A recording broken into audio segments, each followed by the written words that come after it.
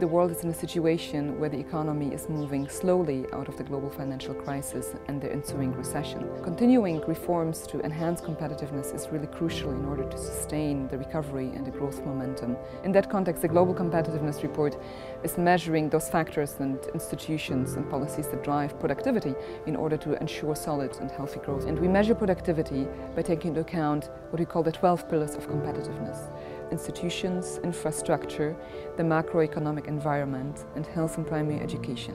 Higher education training, goods markets efficiency, labor market efficiency, financial market development, technological readiness, and market size. We also take into account business sophistication and innovation.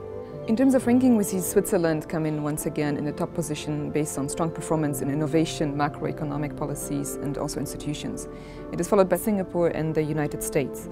The United States come up from fifth position, continuing the upward trend of the recent years.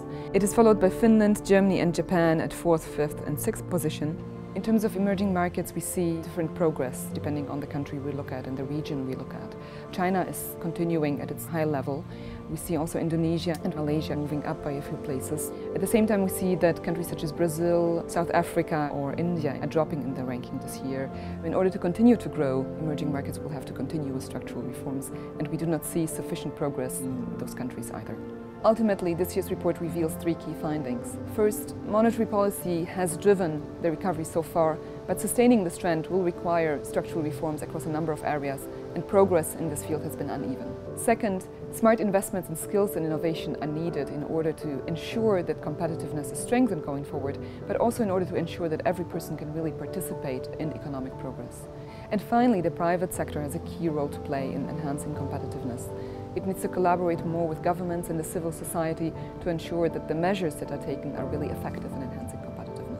We hope that this report is going to be used by the different stakeholders to identify the areas of strength and weaknesses and to build the economic reform agendas going forward.